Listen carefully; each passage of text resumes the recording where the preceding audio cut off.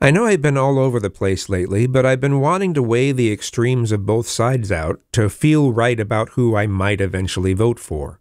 I still don't know who I'm voting for. My five biggest worries about Trump. 1. He'll choose terrible people to be in his cabinet like he did last time.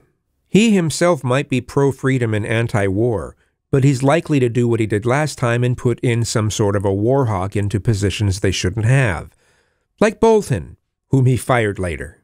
He's likely to put in more anti marijuana people. He's likely to put in people who want to implement Christian theocracy, in the ways they can anyway. Yeah, I have little to no trust in his ability to choose good people. I mean, perhaps he learned some things from his last presidency, but I doubt it changed his inability to judge good people for the job. Two, that once the ball starts rolling on putting light restrictions on the LGBT community and some of the activism where it doesn't belong, that once the ball is rolling, that it won't stop and will go well beyond what Project 2025 dictates, and will become a highly oppressive force against LGBT people, rooted in religious beliefs. I see nothing to stop that kind of force once it starts, once the ball is rolling, and that scares me.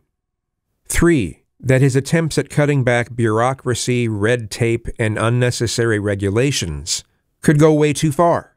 And we end up with a ton of problems as a result. Problems that we thought we were over because we put regulations in place, right? Issues like child labor and worker safety. Standards and regulations that keep us safe.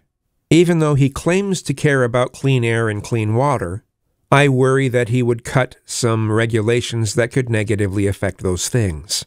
Four, that he'll go overboard on deportations, where people who have been here for many decades who have fully assimilated into our culture and our society and might have no connection to their original country at all anymore, you know, for whatever reason, are forced to go to a country where they may not even speak the same language.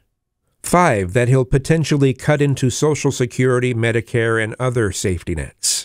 Even though he's claimed to some crowds that he won't cut into those things, he's said to other crowds that, well, you know, maybe he'll be forced to cut that, but that's just the way it goes, ha ha ha ha. He tells different crowds different things, which is pretty concerning. So, yes, there are definitely a number of things that I don't like about a possibility of another Trump presidency.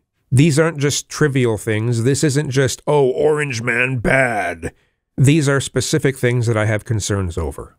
Perhaps you think I'm being unreasonable, but that's too bad. Have a joy, joy day.